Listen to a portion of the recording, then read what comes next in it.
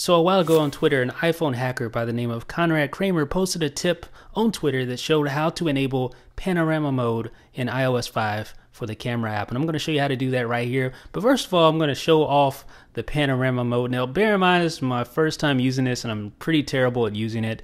Uh, it's not the best looking implementation. It's kind of, uh, kind of, I don't, I won't say it's difficult to use, but it's just not ideal to use in this circumstance, right? So close to the camera. I'm just trying to record this uh, or take a photo of the Steve Jobs biography in panorama mode. And again, it's it's a really terrible idea to do something this close, but I'm going to go ahead and try it anyway, just for the sake of showing you panorama mode in iOS 5. So all you do is hit the uh, camera button, the uh, shutter button, and then you just drag the phone from left to right, sort of like that, and it, takes it stitches all the photos that it takes together um, and then creates one panoramic image, as you can see. Um, it didn't turn out as good as it should have, um, but you know, this is just a test, and yeah, pretty terrible. Anyway, okay, so I'm to try this one more time. Let me just give it one more shot here. So you just tap the shutter button on your camera, and then you see it light up blue, and then you just supposed to keep the arrow on the center line. I'm not very good at doing so. As you can see, the arrow is not on the center line, and my picture turns out just a disaster. But that's beside the point. My, my goal here is just to show you uh, that this does indeed work, and I'm going to show you actually how to get panorama mode enabled right now. So I just opened up iFile. Of course, you will need iFile to do this.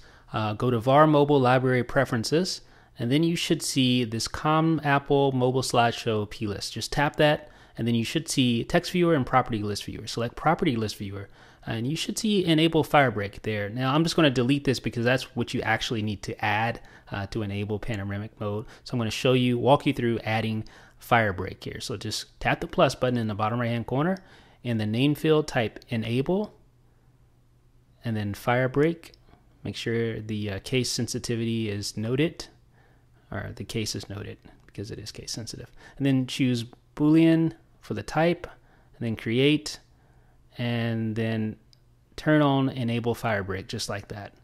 And then go back to your home screen, respring your phone just like that, and then unlock your phone, go to your camera app just like this, and tap the options button, and then you should see panorama there. So that's how you get panorama mode in iOS 5. Shout out to Conrad Kramer again for showing us how to do this on, Twitter. Also, shout out to Chapone, I guess that's how you pronounce your name. Um, he should be releasing Firebreak on the Cydia store tomorrow, so you don't have to actually go through this plist editing and all that.